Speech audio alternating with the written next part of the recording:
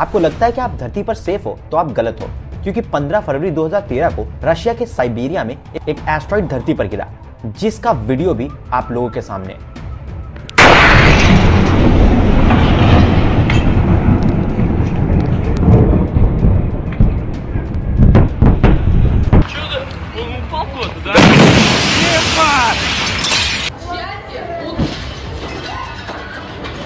ये इतना डेंजरस था आप इसका अंदाज़ा इसी से लगा सकते हैं कि ये हिरोशिमा न्यूक्लियर एक्सप्लोजन से 10 गुना ज़्यादा तेज था।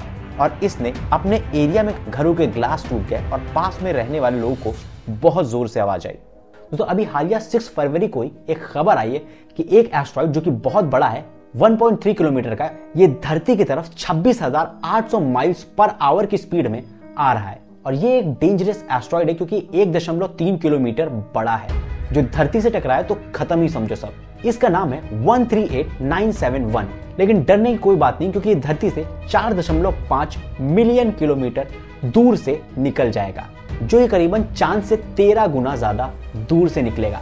और ये एस्ट्रॉइड अभी दूर है और ये आ रहा है और ये सबसे पास आएगा धरती के 4 मार्च को। तो हम जानेंगे एस्ट्रॉइड किस चीज़ के बने ये हैं क्या और ये कहाँ से आए हैं? और साथ ही ये भी जानेंगे नासा और कई बड़ी एजेंसीज की एस्ट्रॉइड्स पर नज़र क्यों रहती है? और धरती पर बैठे कॉमन लोग भी कैसे एस्ट्रॉइड्स को ढूंढ सकते हैं? साथ ही ऐसे और सवालों को भी क्लियर करेंगे कि एस्ट्रॉइड क्या है एस्ट्रॉइड बेल्ट क्या है?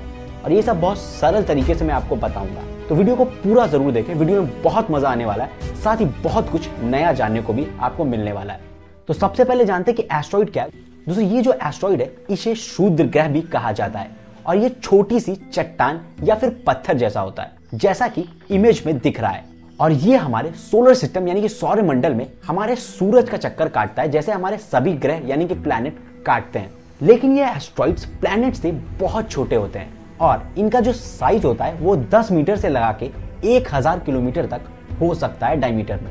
और दोस्तों, हमारे सोलर सिस्टम यानी कि हमारे सौर मंडल में बहुत सारे एस्ट्रॉइड्स हैं और सबसे ज़्यादा एस्ट्रॉइड्स पाए जाते हैं एस्ट्रॉइड बेल्ट में। और एस्ट्रॉइड बेल्ट है मार्स से लेकर जुपिटर, यानी कि मंगल से लेकर बृहस्पति ग्रह के बीच के इलाके को एस्ट्रॉइड बेल्ट कहा जाता है। और यहाँ पर सबसे ज़्यादा एस्ट्रॉइड होने की वजह है जुपिटर, यानी कि बृहस्पति ग्रह और इसकी ग्रेविटी यानी कि इसका गुरुत्वाकर्षण।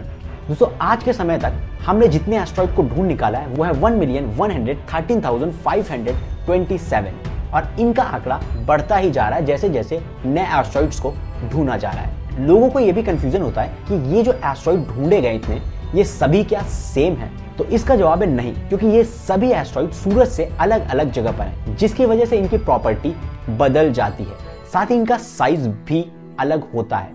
कुछ गोल हैं तो कुछ इरेगुलर शेप के हैं, या फिर कुछ कुछ अलग ही शेप के हैं। और आज तक का जो सबसे बड़ा एस्ट्रॉइड देखा गया उसका डायमीटर है 939 किलोमीटर का, और इसका नाम है सेरस तो ये एस्ट्रॉइड अभी तक की मोस्टली तीन तरीके के देखे गए हैं अपनी बनावट के हिसाब से, जो कि है सी टाइप एस टाइप और एम टाइप तो सी टाइप के एस्ट्रॉइड जिसे कॉन्ड्राइट एस्ट्रॉइड कहा जाता है, और ये बहुत कॉमन होते हैं। ये मोस्टली क्ले यानी कि मिट्टी और सिलिकेट से बने होते हैं। दोस्तों एस टाइप के एस्ट्रॉइड को कहा जाता है स्टोनी एस्ट्रॉइड और ये बने होते हैं सिलिकेट से, साथ ही साथ निकल आयरन से। और एम टाइप के एस्ट्रॉइड होते हैं मेटल के, जिसमें आयरन और निकल मोस्टली होते हैं। और ये ज़्यादातर सूरज के करीब देखे जाते हैं, क्योंकि ज़्यादा गर्मी की वजह से इनका सिर्फ़ मेटल ही बचता है और बाकी चीज़ें जल के राख हो जाती बहुत से लोग सोचते हैं कि ये एस्ट्रॉइड्स आए कहाँ से दोस्तों, ये एस्ट्रॉइड चार दशमलव छह बिलियन साल पुराने हैं जब हमारा सोलर सिस्टम बना था, जो कि गैस और डस्ट के कोलैप्स होने से बना था। और इसी में ये एस्ट्रॉइड्स भी बने थे। दोस्तों, अभी इन एस्ट्रॉइड्स को देखते हैं नासा साथ ही साथ कई और स्पेस एजेंसी और कई सारे कॉमन लोग। और इसको देखने के लिए कई स्पेशल कम्युनिटी भी है। तो बड़ा सवाल यह कि इनको ऐसे देखा ही क्यों जाता है? हमें क्या मिलता है इसको देख कर तो नासा जैसी बड़ी स्पेस एजेंसीज हमेशा एस्ट्रॉइड्स को और धरती के पास के एस्ट्रॉइड्स को सबसे ज़्यादा देखती रहती है और 24 घंटे देखती रहती है। ये धरती से 28 माइल्स तक कॉमेट्स और कई और चीज़ों की मॉनिटरिंग करती रहती है। क्योंकि नासा की भी एक लिमिटेशन है और वो हर जगह, हर समय तक नहीं देख सकती। क्योंकि जितनी ज़्यादा आँखें होंगी, उतना ज़्यादा हमें जानने को मिलेगा कि हमारे आसमान में क्या चल रहा है। International asteroid search international asteroid search collaboration और ऐसी ही दुनिया भर की तमाम एजेंसियाँ हैं जो कि नासा से कनेक्टेड है और मिलकर ये काम करती हैं। और ये काम किया जाता है कहीं ना कहीं धरती की रक्षा करने के लिए, साथ ही साथ हमारे स्पेस के ज्ञान को भी बढ़ाने के लिए। और साथ ही 2022 में नासा जैसी स्पेस एजेंसीज काम कर रही कि धरती की तरफ़ कोई आते हुए एस्ट्रॉइड से हम धरती को बचा सके, ऐसी टेक्नोलॉजीज़ पर काम किया जा रहा है। क्योंकि धरती का द एंड हो सकता है, अगर कोई बड़ा एस्ट्रॉइड धरती की तरफ़ आता है। अब जानते हैं कि इन एस्ट्रॉइड्स को कैसे पता लगाया जाता है, कैसे एस्ट्रॉइड्स को ढूंढते हैं। तो दोस्तों, ये कोई आसान काम नहीं, इसको करने के लिए लगती है काफ़ी ज़्यादा मेहनत, कुछ स्पेशल टूल्स जैसे कि एक टेलीस्कोप जिसमें कैमरा हो। जितना अच्छा टेलीस्कोप और जितना अच्छा कैमरा उतनी ज़्यादा डिटेल तो दोस्तों, इस टेलीस्कोप और कैमरे को रात के समय पर रखा जाता है और एक पर्टिकुलर जगह की तस्वीर निकाली जाती है। फिर कुछ समय बाद इसकी और तस्वीरें ली जाती हैं और ये बहुत प्रिसाइज काम है। आपका टेलीस्कोप और कैमरा, इसकी डायरेक्शन बिल्कुल भी चेंज नहीं होनी चाहिए, क्योंकि हम उस पर्टिकुलर जगह की ही तस्वीर लेंगे और हर बार वो सेम जगह होनी चाहिए। फिर उन सभी तस्वीरों को एक साथ रख के कंपेयर किया जाता है और एक डिफरेंस ढूँढने की कोशिश की जाती है, यानी कि क्या चेंजेस आए हैं। और ये एक बहुत मुश्किल काम है, क्योंकि जब भी कोई एस्ट्रॉइड होगा तो वो हमेशा मूव कर रहा होगा किसी पाथ पर। और अगर हम डिफरेंट डिफरेंट समय पर तस्वीरें खींचेंगे तो हमको वो मूवमेंट दिख जाएगा। तो अगर जो एस्ट्रॉइड होगा, वो एक समय पर एक जगह पर होगा और दूसरी फ़ोटो में वो दूसरी जगह पर हल्का शिफ्ट कर गया होगा।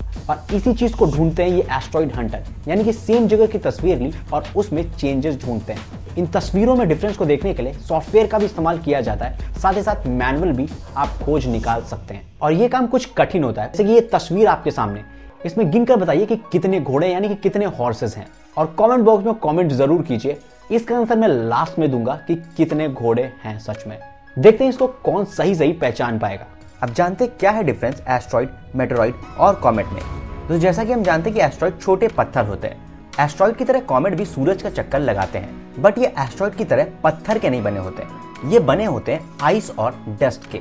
और इसीलिए जब एक कॉमेट सूरज के पास जाता है तो उसकी आइस यानी कि उसकी बर्फ़ और डस्ट के चलते उसमें एक वेपराइजेशन देखने को मिलता है, जिसकी वजह से ही जब इसको टेलीस्कोप के थ्रू देखा जाता है तो उसका एक फजी सा अपीरियंस होता है और एक टेल सी दिखती है उसमें।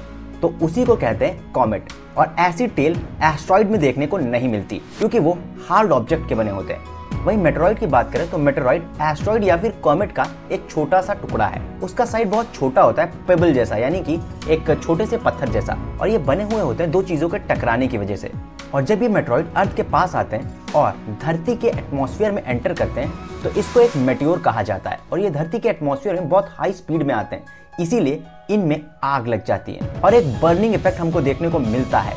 जिसके चलते ही हम आसमान में कभी कभी देखते हैं, एक शूटिंग स्टार यानी कि टूटता हुआ तारा हम जिसको कहते हैं, वो एक मेट्योर होता है। तो बस यही डिफरेंस होता है एक एस्ट्रॉइड कॉमेट और एक मेट्रॉइड में। चैनल को सब्सक्राइब करके बेल आइकन ज़रूर दबा ले। धन्यवाद।